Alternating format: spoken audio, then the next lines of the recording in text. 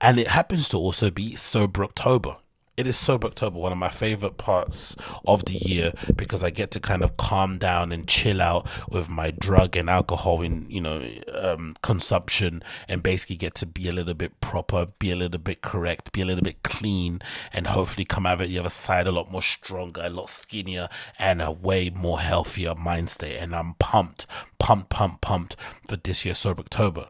My plan overall for what I'm doing this time is that I'm obviously adopting what the guys are doing on the Joe Rogan podcast, which is Tom Segura, Ari Shaffir, and Bert Kreischer's.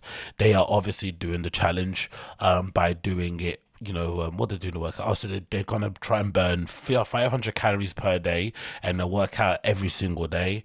And then, but the other thing they haven't done is give up something, which I'm going to give up. So the first thing to go is obviously Instagram usage. So I'm not going to be uploading or posting on my Instagram for the entirety of my sober October. I've committed to checking Twitter one at one um, hour per day because I have to kind of check for the news I have to do on this podcast, unfortunately. But if I wanted, if I wanted to, my overall goal would be to completely avoid it. But I need to have one source or place where I can kind of go and check out the news I need to kind of upload on here. So that's obviously something I have to do. And then I'm going to commit to doing an hour of reading a day and also do an hour of Duolingo a day. And that's my kind of overall commitment I'm doing. So I'm still doing the working out, still doing the burning of 500 calories per day. Um, I'm sticking to a diet, which obviously is good too. So I'm getting rid of all the junk food. I'm also intermittent fasting, which is kind of another thing I'll add on to it. But that's essentially the things I'm trying to do 500 calories per day, um, working out once per day. Um, what's I say? Um, sticking to my diet at the moment, which is basically not eating shitty food, intermittent fasting, which I'm doing at the moment, a 16 8 in terms of 16 hour fasting, 8 hour window of eating, and then the no, oh, sorry, 18 hour window of fasting, um, 6 hour window of eating, and then the other thing is reading, and of course, the Duolingo. So, those are the things I'm going to be running through. So, I'm really excited to kind of get that going for the next month or so. And I'm hoping by the end of the month, not actually hoping, my intention for the end of the month is to make sure that I'm under under, at least under, at least under 240 at least under 240. That's the obviously main goal. But if I can get down to lower than that, I'll be absolutely over the moon. But that'll be my kind of my least goal at the moment because now I think I'm like 275. I weighed myself at the start of the month. I was like, God damn, I'm 275 pounds. I, I, I guess I don't, I, maybe I don't look it, uh, or maybe I, in my head I don't think I look it, but shit, man.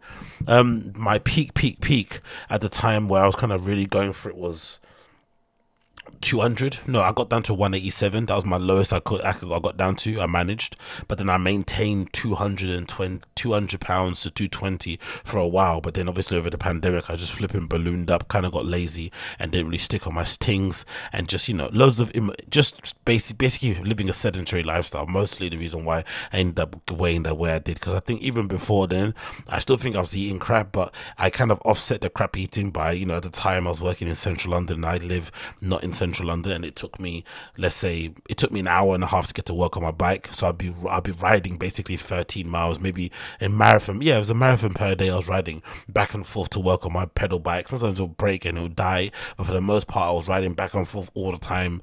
Um, a marathon every single day.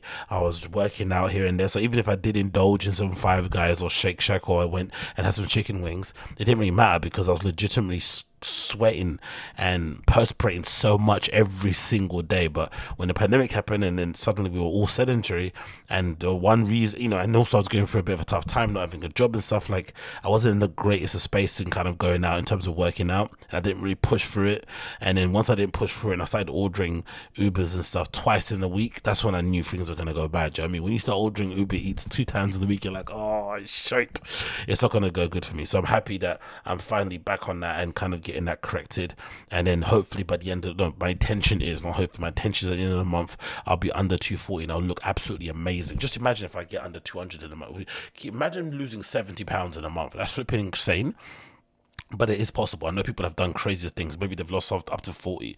But if I end up losing 70 pounds in a month and I go down to 200, that would be absolutely wild. But, you know, stranger things have happened. So let's see what one.